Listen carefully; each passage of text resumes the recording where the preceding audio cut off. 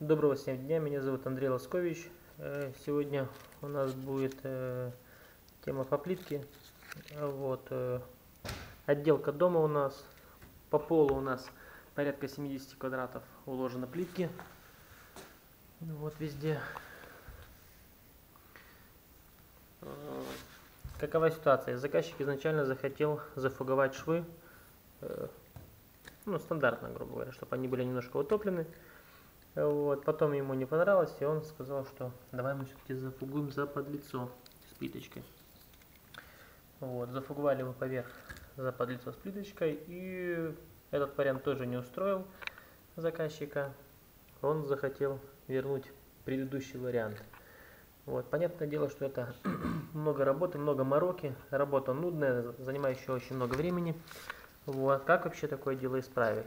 Берем наждачку, 240 номер, вот. Складываем вот такую, грубо говоря, дугу. Вот. Берем по плиточке, в шов, засовываем и начинаем вот так это все дело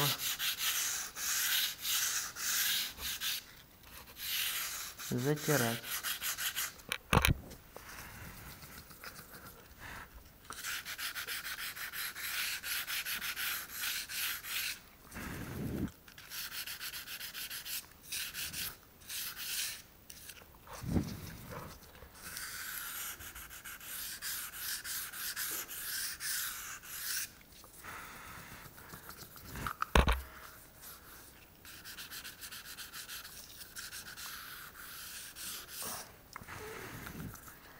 Вот, тем самым мы возвращаем шов в его первоначальный вид. Вот, подравниваем его, делаем немножко глубже. Вот. По моему мнению, это более красиво, нежели сделать за подлицо, когда фуга немножко размазывается, плитка у нас еще кое-где неровная. Вот, единственное, что этот вариант занимает много времени. Вот.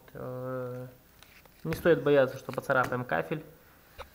Без фанатизма, конечно. Нужно это дело делать. Вот, тогда будет все у нас четко и красиво. Ну вот, мы уже затерли таким образом почти все помещение. Вот, результат отличный. Так что принимайте правильные решения. Вообще считаю, что ошибка была моя. Нужно изначально было показать заказчику два варианта, чтобы он выбрал. Но все приходит с опытом. Все, кому информация была полезной, ставьте лайк, вот, подписывайтесь на канал. Всем пока.